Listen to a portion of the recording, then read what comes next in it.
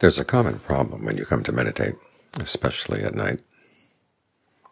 It's been a long day, you've been working hard, you want some rest.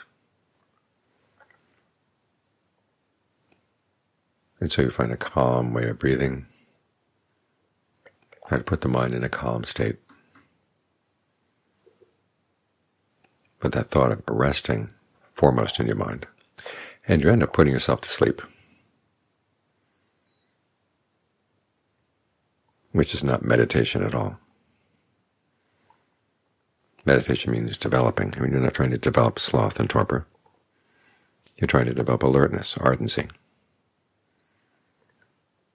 mindfulness.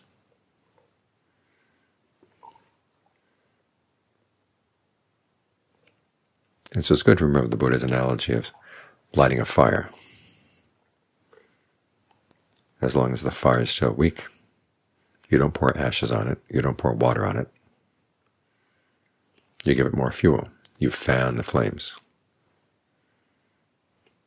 In other words, you put more energy into it.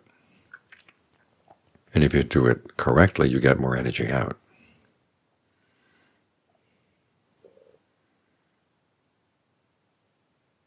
He gives this analogy when he's talking about the factors for awakening. And the energizing factors are analysis of qualities, persistence, and rapture. Those are the things you have to emphasize at the beginning of the meditation, especially when you're tired.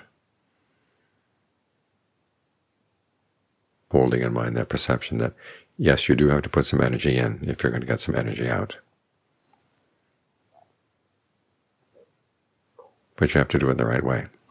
Otherwise you tire yourself.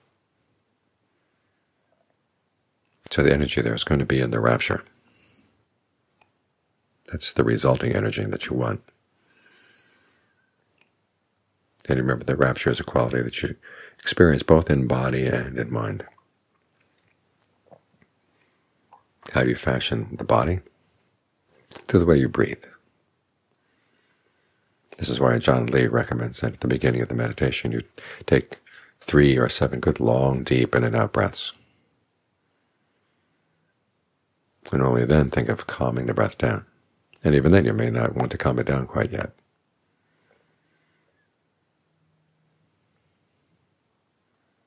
I know some people complain about this part of his method. I remember when I first read about the Buddhist teaching on breath meditation. I was told that in yoga you manipulate the breath, but in the Buddhist practice you don't change the breath at all. And to this day there are people who make this apart as an issue, saying that Ajaan Lee's method is non-Buddhist, it's a yoga method or a Brahmanical method, because he manipulates the breath. But there's nowhere the Buddha says not to manipulate the breath.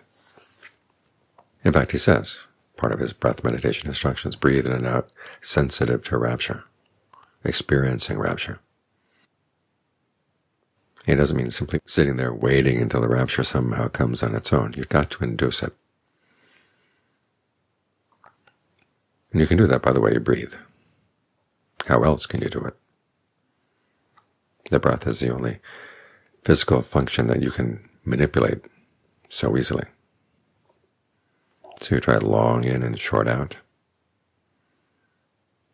to get more oxygen into your system. And then you look at the way you squeeze your energy as you breathe. The two places where you tend to squeeze it. One, primarily on the out-breath. You fill the body with the breath, and then you squeeze it out. Is there some way you can breathe out without squeezing?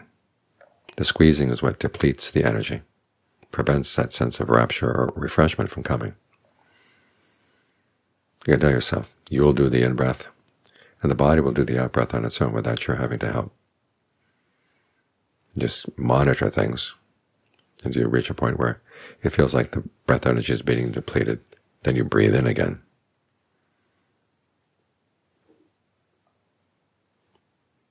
The other place where you tend to squeeze it is between the in-breath and the out-breath, or between the out-breath and the in-breath, as a sort of marker. After all, you're trying to remember now the breath is coming in, now the breath is going out. Where is the line that divides them? You tend to create a line with a little squeeze. Well, you don't have to do that. Again, that prevents the rapture from developing.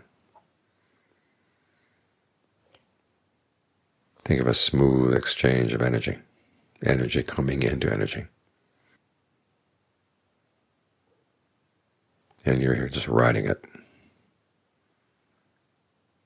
When you think of the breath being all around you, you're wearing it.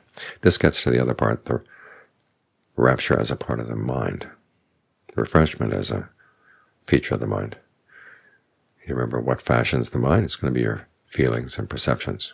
So notice what kind of perceptions you have about the breath. As the Buddha said, once there is a sense of rapture or refreshment, you want it to spread to fill the whole body. Think of the bathman kneading the moisture through the ball of bath powder, or the spring filling a lake with its cool waters.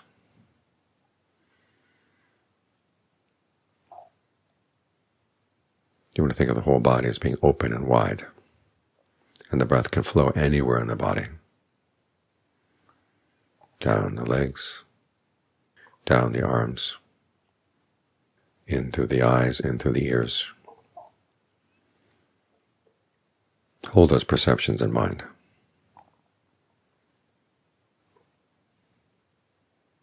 And again, if you notice there's any sense of squeezing anywhere in the body, as you get more and more sensitive with the whole body breathing, the whole body breathing in, the whole body breathing out. Just breathe right through those little sensations of squeezing. So you've got the breath, breathing the breath. You're wearing the breath. It's all around you.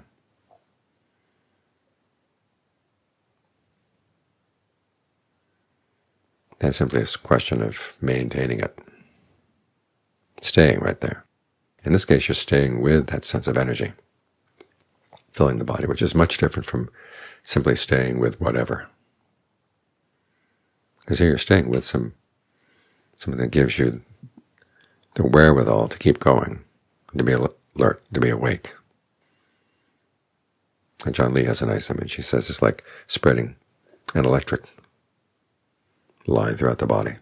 We've got electric lines going down through the arms, through the legs, through the torso, and that we can light up the entire countryside.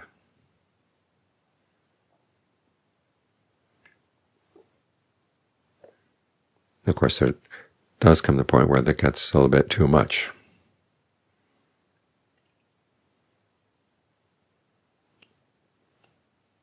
Some people find it actually threatening in some cases because they've had experience drowning, and there is that sense of being close to drowning when everything permeates the body in this way. But you're not drowning in water, you're drowning in energy, you're drowning in air.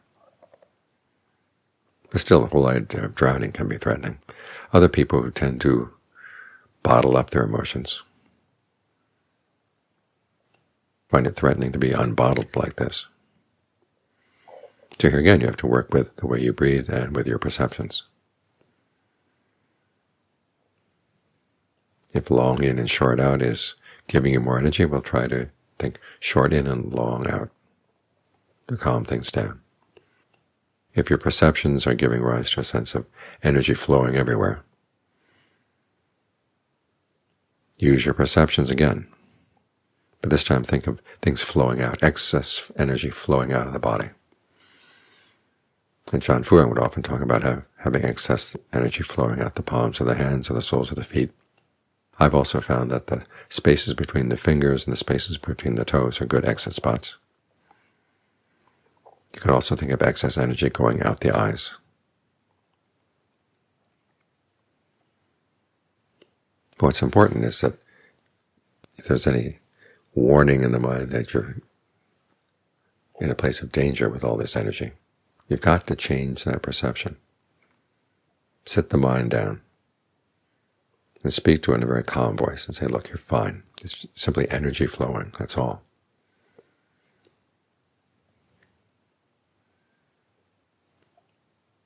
And if there's any pressure, think of what it is that causes pressure, whether it's liquid flowing against solid.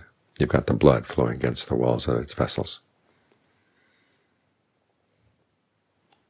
So again, change the perception. Think of this as being energy. Energy can permeate anything. This lattice of atoms that is your body. It's not really even a lattice. It's just a cloud, and between the drops of the cloud there's space. So think of space all around, permeating everything. The energy can flow out, say, the base of your spine. It's another image from Ajaan Fuang.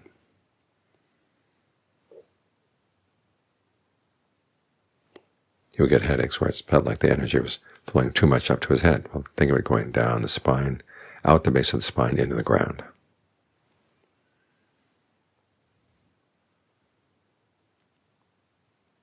And remind yourself that there are many layers of energy in the body. If this layer of rapturous energy seems to be too strong, well, the same spot where there's strong energy, there's also a gentle energy.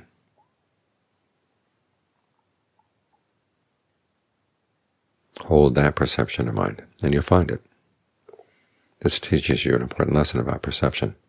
When you allow yourself to perceive things in a certain way, you see that there isn't often a corresponding reality. Now, this is not always the case. Otherwise, you could make up any reality you wanted to. But reality has many layers. And often there are lots of things we don't see because we don't allow ourselves to imagine them. And if you like the idea of working with your imagination, remind yourself that as a child you had to imagine that the world was round. It really is round, but it doesn't look round. It looks flat. But if you get way up in space, you realize, yes, it is round. If you're trying to fly from Los Angeles, say, to Moscow, you don't fly simply to the east-northeast. You fly way up north come marching down. That wouldn't work if the world were not round.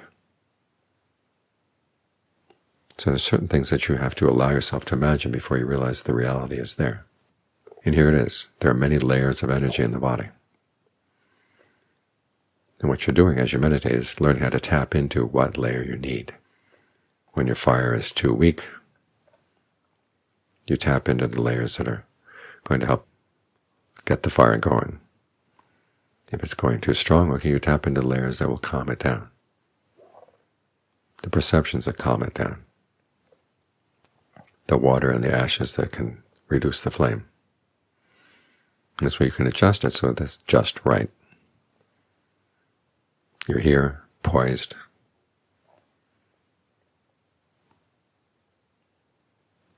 finding that right balance between being still and alert.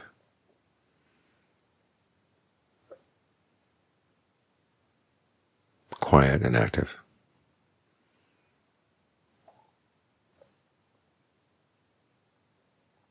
And in the course of adjusting things in this way, you've learned a lot about the mind.